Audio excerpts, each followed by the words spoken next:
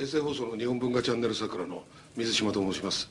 えー、8月19日に、えー、尖閣に上陸した人間でございます、えー、知事にあの、えー、支援として皆さんから送られた14億7000万円についてお聞きします、はい、あの今基金にして、えー、私たちのご質問提出したものに対して強く政府に実効支配を要望していくというお答えをいただきましたけれども、えー、例えば、えー、漁師さんたち石垣の漁師さんたちの、えー、集団漁業活動とか、え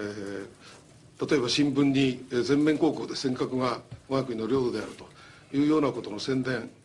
あるいはあのメガフロートとかですねいろんな形で提案を申し上げましたけれども今あの我々ができることがあるんじゃないかと国が今や全くやってない状態でございますからそういうふうに思いますけど先頭に立っていただきたいと思いますけれども知事はその辺どのようにお考えでしょうか？あ今朝日がすごい顔で君を睨んでたぞ。睨めよそこで。面白いから。それはねちょっと筋が違うんじゃないでしょうかね。これやっぱりね